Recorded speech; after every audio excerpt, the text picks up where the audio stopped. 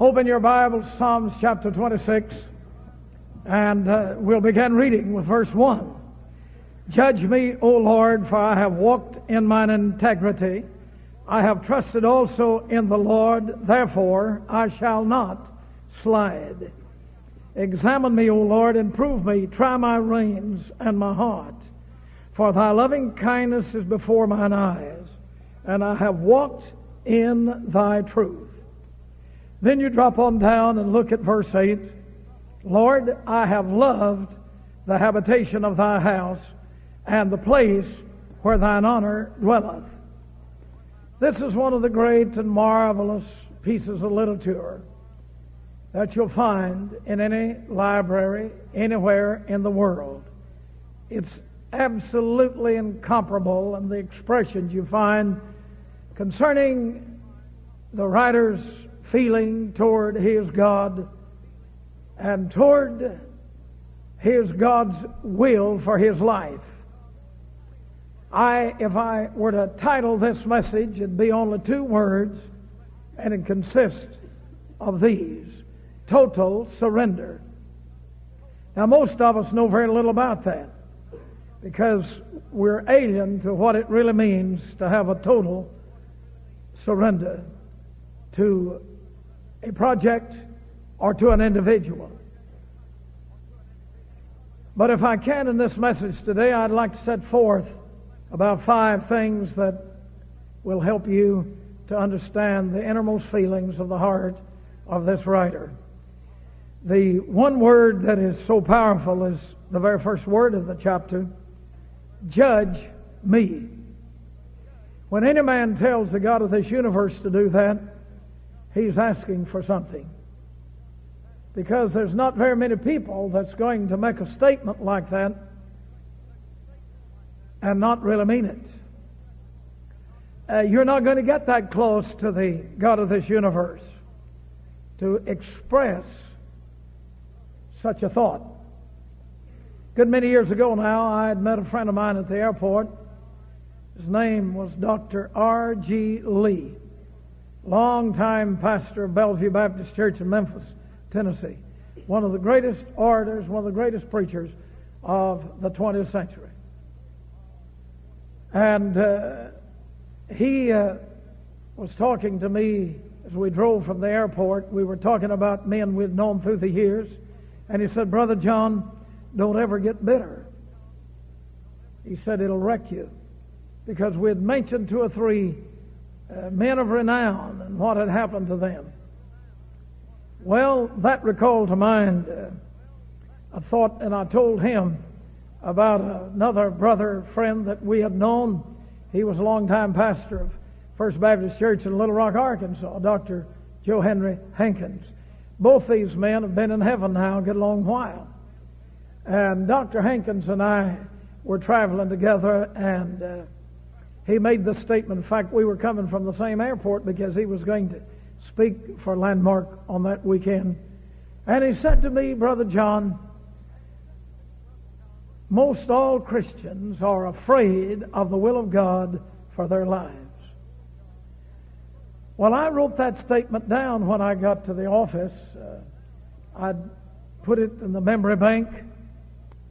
And quite often I had my little soul winner's New Testament. And I would turn to that statement and I would read it again. Nearly all Christians are afraid of the will of God for their lives. And it grew on me. And it began to get larger and larger. And I said to myself one day in a quiet time, there must be a scripture that, uh, that's related to this statement. And you know what? The Spirit of God directed me to the fifth chapter of the book of Ephesians. And I found exactly what Dr. Hankins was talking about. That Christians, many of them, are afraid of the will of God for their lives. I don't think any of us that have been a Christian for a long period of time would be so bold as to say that there has not been periods when we were reluctant to really say, Lord, judge me. That's asking for a great deal, isn't it? Lord, judge me. Have you ever been so bold as to make a statement like that? Well, I have a few times in my life. I can say it without reservation because the Lord knows my heart. But I'll tell you, you'll fear and tremble when you make a statement like that. You can mark it down in the book of memory that when you ask God to do that, there'll be some things happen in your life. Lord, judge me. But wouldn't it be wonderful if we could all do that and do it really sincerely and honestly? Young people, I'd like to challenge your heart tonight. Please don't be afraid to do it. You're human like I am, like your pastor. But you that have been in the performance here before the broadcast started, could I encourage you to come to grips with the rights of the Lord Jesus Christ in your life? And you could say, Judge me, O Lord, for I have walked in mine integrity. He makes a statement here that's very bold. Now, we'll probably come back to that. I want you to notice the second word. It's in verse 2. Examine me. Now, in the Corinthian letter, Paul said, Examine yourselves to see if you're in the faith. Said that to Timothy. And then in the observance of the church ordinance known as the Lord's Supper, he said for people to examine themselves lest they take the Lord's Supper unworthily. Now, a man, if he'll judge himself, he shall not be judged. But still, to be open with the Lord and be able to say, Examine me, O Lord. Notice how he says that. Isn't that a beautiful lesson? Examine me, O Lord. That means to open up uh, the corridors of my life and the closets of my life and the secret chambers of my life and turn the light on and look at it, Lord. I don't want anything to be concealed. That means there can't be any shady deals. There can't be anything done under the table.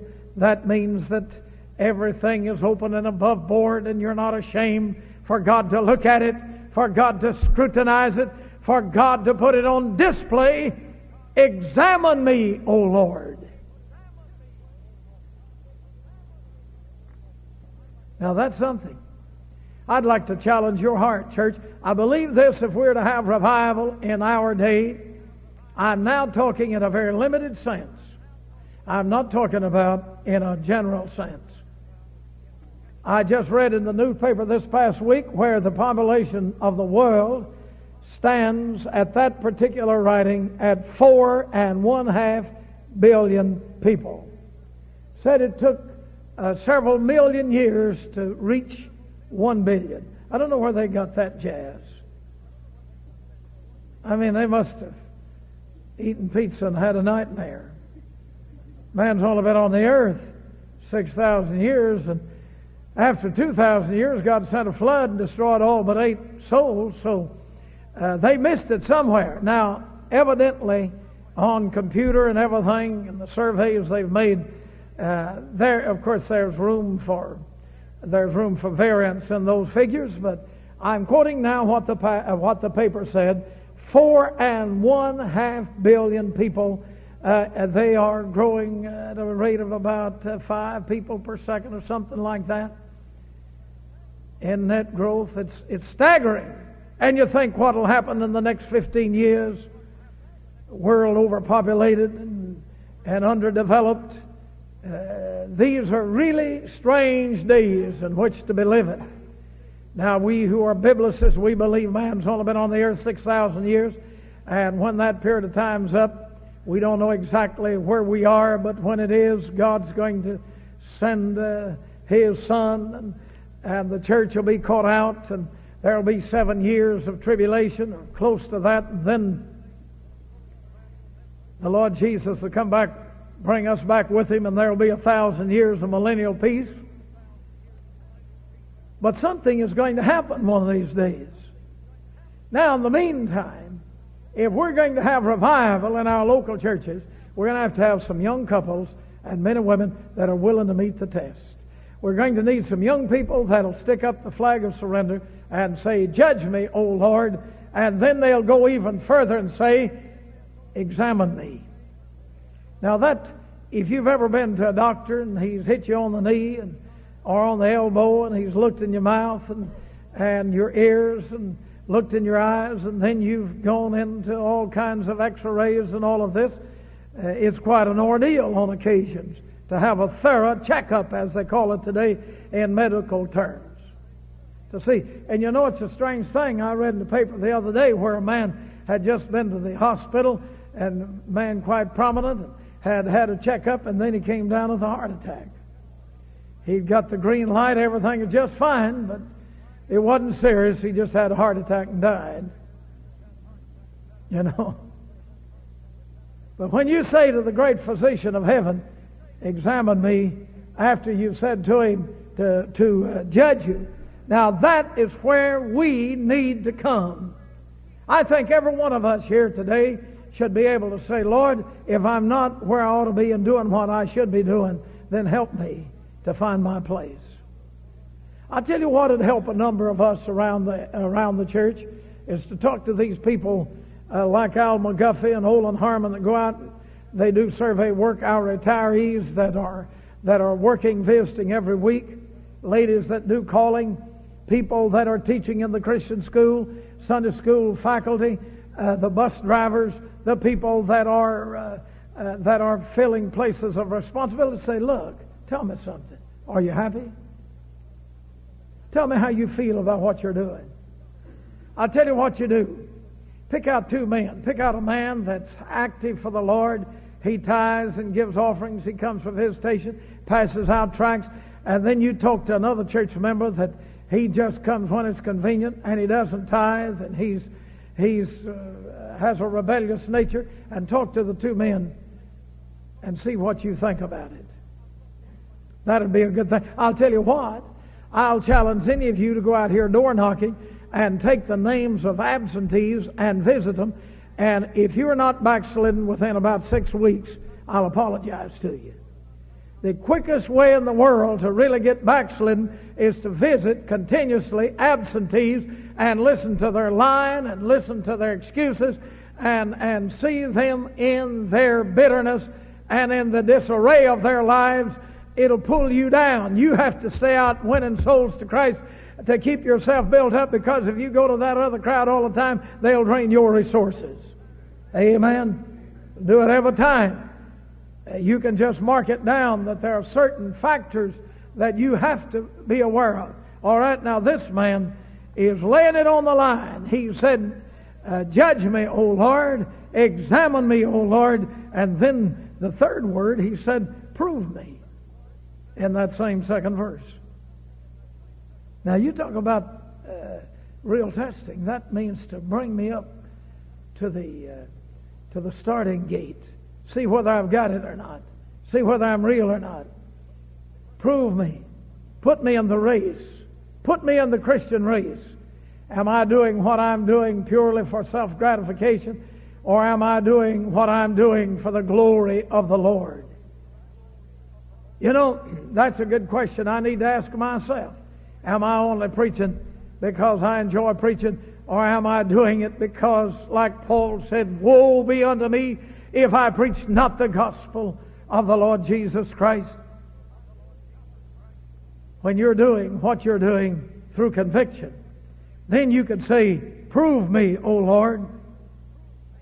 Now, that brings you to a, a larger uh, an enlargement of this truth when you take uh, the word to judge and then to examine and then you say, prove me. See if I'm real or not. You know, it's quite interesting if you've ever been with a man that is really skilled in judging diamonds, precious stones. I was with a friend of mine that owns a jewelry store, and he uh, he had some stones uh, showing me, and he said, uh, Dr. John, take this glass and pick this up with these uh, pinchers, you know, this little thing he had, and said, uh, Tell me which stone is worth the most. Well, first of all, I was judging that stone. I was to be a judge.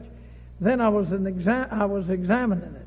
And then uh, I, I, he was proving me to see if I knew really what I was talking about. Now, I was not an expert. I missed it. Well, I had a couple miss one. I did pretty good. He said it's exceptionally well. But still, I missed one. But I tell you, the God of this universe never misses. He never misses. And when this writer said, Prove me, he's saying, Take me up there and put me in a place of responsibility. See if I can, if I can meet the test. Oh, how wonderful this is. What a lesson is to be learned. Now, there's, uh, there's another word that, uh, that we ought to that we ought to look at in that second verse, and it's a simple little word, try. Try my reins. Now, you, when you find that in the Psalms, he's really talking about his strength. Try my strength and my heart. Look at my capabilities. See, see the, res, the, the reserves that I have. Try me. All right, now you've got these four propositions judge me, examine me, prove me, try me. Put the heat on me. Put the pressure on. You know, I think I've told you this story, but this big fellow I led to Christ down in Texas years ago, he was uh, he was uh, an alcoholic. He had to have it. He'd get up of a morning and have a bottle of liquor and take a swig off from it uh, to get going for the day, and and uh, he had just about lost everything. That's the way alcohol will do you. But uh, I led him to Christ, or he was saved in my church in a revival meeting we were having, and of course I had witnessed to him and had been a real friend to him, and he got saved in that revival meeting. Well, he quit drinking immediately, poured out all of his liquor, just opened the bottles, poured down the drain, threw the bottles away. Now, not long after that, when you've been on alcohol for so many years, you can get some terrible reaction. I don't care if you are saved. And uh, he had been a heavy smoker, three or four packs a day, and he quit smoking just like that and quit drinking. Well, I saw that man on his body, on his arms, on his face, on his neck, on his chest, on his back, all over his body. Whelps would break out as big as my thumb and larger. Big, red, swollen, uh, looked like he'd been stung by a bee or something. And uh, there would be dozens of them on his body. And the irritation was almost indescribable. I remember one day we were together and, and he had gone with me to a meeting and we were in a hotel room and and uh, he couldn't hardly stand his clothes to touch him, and he pulled his shirt and his undershirt off and his trousers, and they were just lounging in his uh, in his shorts, and and uh, he was scratching and rubbing those things, and and finally he he just burst out to crying and praying. He said, "Oh God, just lay it on me." He said, "I don't know how much I can stand." But he broke down and sobbed. He said, I'm not going to go back to that bottle. I'm not going to turn back to the world. If I die, if my body becomes a sore from my head to my feet, I've always remembered that. It's sort of in line with what the psalmist was saying. Try me. Prove me. Examine me. Judge me. That man has been pastoring the same church now for 25 years. He's an old man now, and he's had a stroke, and he's had a, he's had a heart attack, and, and he's had a number of things happen to him physically, but sometimes he's so broken he'll sit in the chair and preach. But the people come to hear him, and people get saved in those oil fields, uh, those rig builders, and those tough oil field workers. And he loves those people, and little children will come and sit on his lap and hug him and call him grandpa, and he'll cry and preach the gospel. He didn't turn back. He said to try me and prove me, see what I'm made of, oh God. I would to God that a great church, as one person, would come to your senses and before Almighty God, you and I could say from the senior pastor to the lowly, lowliest member, Judge me, examine me, prove me, try me, O God. Now, he said five, eight times in verses 3 through 8, notice, I have walked in thy truth. I have not sat in vain with vain persons. Neither will I go in with dissemblers, that is, strife makers. Verse 5 I have hated the evildoers. I will wash my hands in innocency. So will I compass thine altar, O God. He said, I'll come to the altar. Verse 7 That I may publish with the voice of thanksgiving and tell all thy wondrous truths. Now you see, after all of this had happened, he begins to tell eight different times, I this, I'll not sin, I will refrain from evil. And then he said, That I may publish with a voice of thanksgiving and tell all thy wondrous works. You want me to tell you what's wrong with a lot of you people sitting here today? You haven't been in verses 1 and 2, and you dead sure can't get in verses 3 through 8. You'll never go to verses 3 through 8 until you get through verses 1 and 2 of this chapter. You'll never be able to say the other until you have submitted to these four propositions judge me, examine me, prove me, and try me. You'll never make it. Now you look at that. Then, verse 7 that I may publish with a voice of thanksgiving and tell of all thy wondrous works. I've often wondered, why is it that a great number of the body of Christ, they're so glum and so tight-lipped and so unwilling to tell of the mercies of God? Why can't we talk about the goodness of God? If we've trusted Him as our Savior, if we love Him with all of our heart, then God's people ought to praise the Lord for His goodness and for His wonderful works to the children of men. I tell you, my friend, you and I are phony unless we have passed through Psalms 26. We're not real unless we have walked through these truths. Now we come to verse 7. Isn't it strange that verse 7 does not precede verses 1 and 2? That I may publish. He's linking now what he's going to do with what he has requested.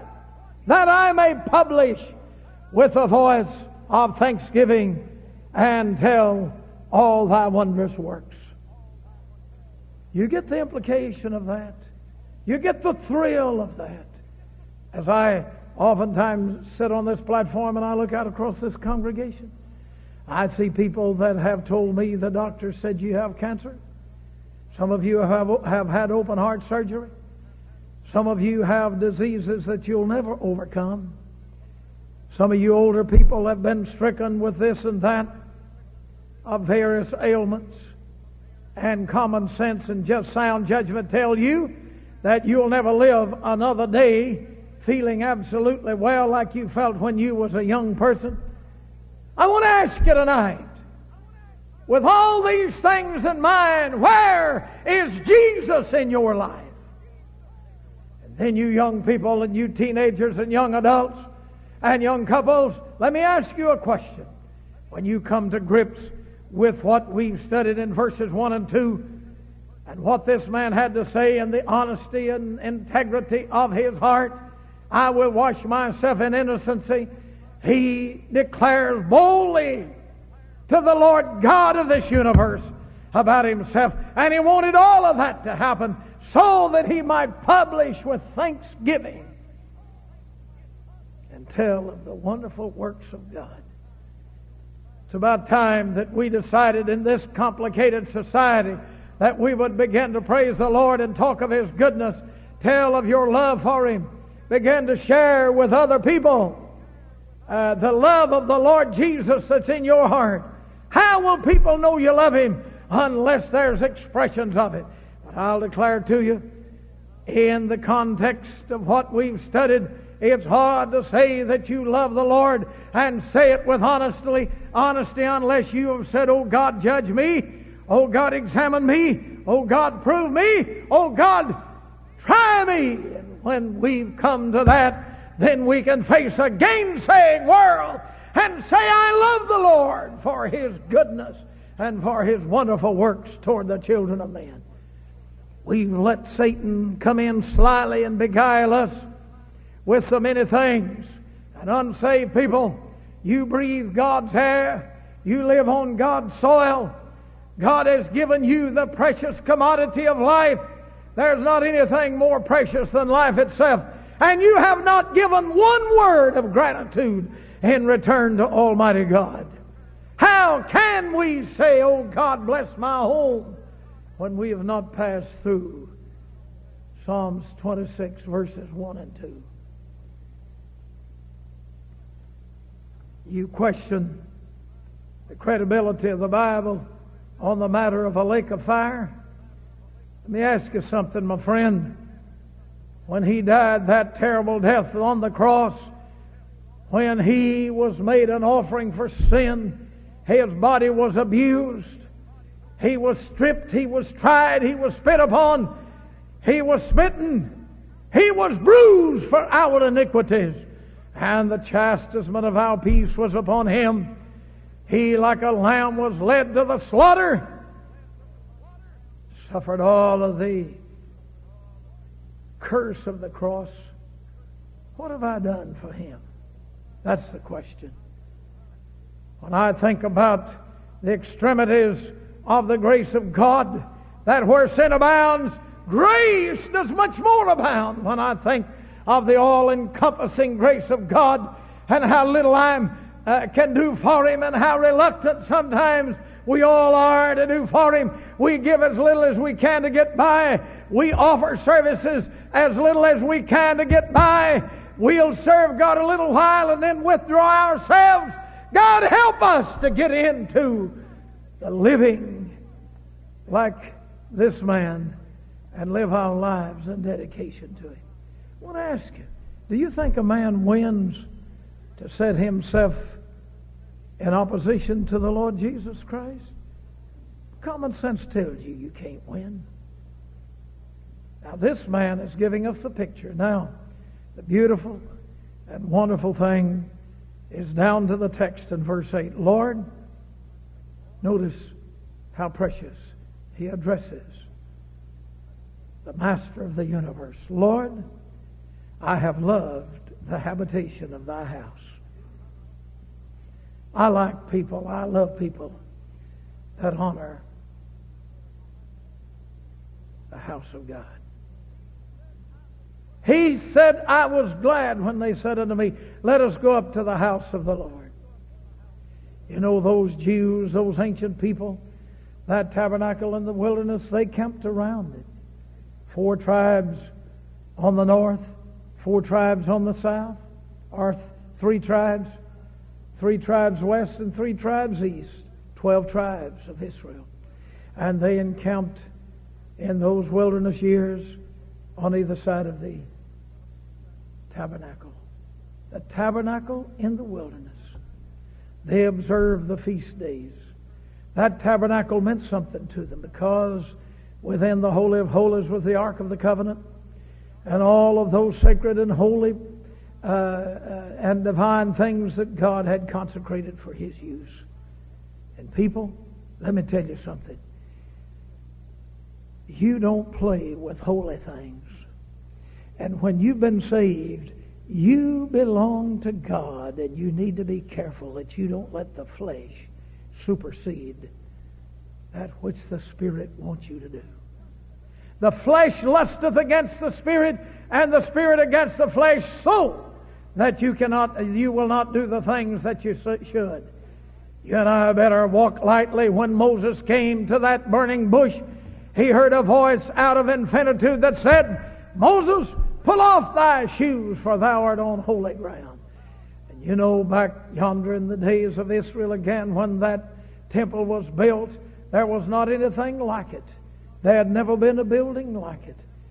Gold, The, the, so much of it was overlaid with fine gold. There was so much beautiful wood in that and every precious stone. It is something beautiful to behold. No wonder those ancient people thought, oh, this is it. This is it. I've got, I've got information for you, too. You know, when the day comes when our Savior stands yonder on Mount Olivet at the temple site, the temple will be there, and it'll be something to behold. Are you with me now? Hear me. But in the church age, those of us that belong to the body of Christ, we've been washed in the blood, and we, we are part of that body. 1 Corinthians chapter 12 and chapter, uh, chapter 12 and verses 12 through uh, 26. Listen. You and I ought to assemble ourselves together with the body of Christ. It's important. What did he say in this? Lord, I have loved the habitation of thy house. Means something to me. You think he ever had to be visited as an absentee? You think there was any reason for him to be absent? To absent himself from that assembly? Eh, you know what he said in the book of Matthew? Where two or three are gathered together in my name, I will be in their midst. You better watch it, people, because the God of the universe looks down and he takes note of our situation and what value we place upon certain things. You notice how I said that? What value we place upon certain things. You can go to the Smithsonian Institute in Washington, D.C., and you can look at the beautiful diamonds, or you can go to London and you can see the crowns and the, and the beautiful diamonds and precious stones. You can go to other parts of the world and see where ancient rulers have ruled that land, and they have certain uh, they have certain things that uh, are most precious. I want to ask you something. Like a great pa- a painting of Michelangelo or or Da Vinci, or some of them are the great poets and the books that they have written, or the great songs, paintings, whatever it may be, and the value they place, place upon them. What is important in your life as a Christian? The house of God. Now, not just brick and stone, but where God meets with his people. Now, there's one other thing. And this is really the key to all of it, verse 8. Lord, I have loved the habitation of thy house. Two, and the place. The place, notice that, the place where thine honor dwelleth. He had spiritual perception to know where God's honor dwelleth. And he honored that the place where thine honor dwelleth. Gather not my soul with sinners, nor my life with bloody men. But as for me, I will walk in mine integrity, redeem me, and be merciful unto me. My foot standeth in, the, in an even place in the congregations. Will I bless the Lord? Notice the great emphasis he places upon this because that's where God honor dwelleth. To honor him to extol Him, to put Him in His rightful place, men and women, your life and mine. It's important. Now, let's conclude by saying, two, within the body of every believer dwells the Holy Spirit of God. Within the body of every believer dwells the Holy Spirit of God. And where you go, whatever you may indulge in, the Holy Spirit of God dwells within your heart. He knows every move, every thought, every action. He said, If I go away, I will send the Comforter unto you. And what a blessed thought it is. And how comforting it is to know that He will abide with us forever. And we have the seal of the covenant in heaven with the sprinkling of the blood that's why he would not let Mar- uh, Mary touch him until he had con- consummated the temple worship. But later on he could say, Handle me and see, for the Spirit hath not flesh and bones, as you see me have. And where he is honored dwells is where the Christian, the born again person, should desire to be. Often, often I say, that ought to be a thirst almost like in a hot desert sun. A man ought to hunger and thirst after righteousness. He ought to be overtaken with the desire to be where God is and to be in fellowship with Him.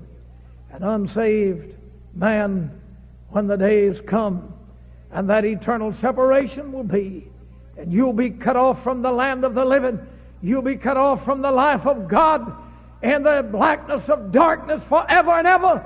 Oh, the, the horror, the indescribable horror of hell without hope, of eternal punishment without relief.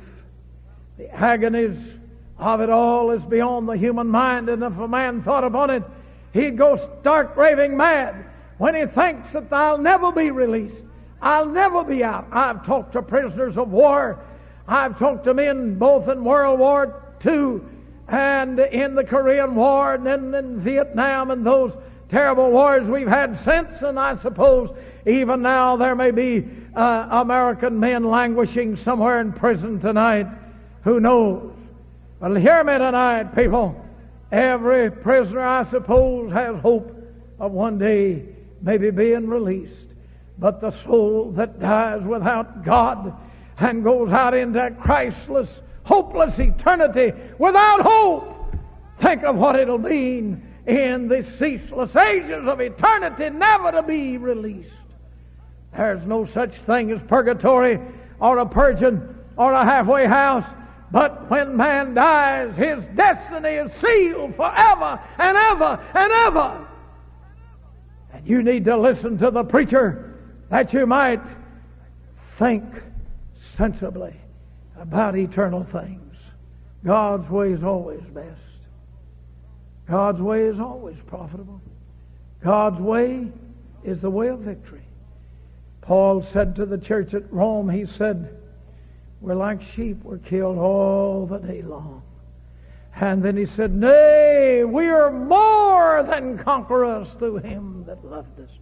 For I am persuaded that neither death nor life, nor angels, nor powers, nor principalities, nor things to come, things present or things to come, nor any other creation shall separate us from the love of God that is in Christ Jesus our Lord. How to, what a comfort it is to be eternally saved and saved forever. Let's stand with our heads bowed.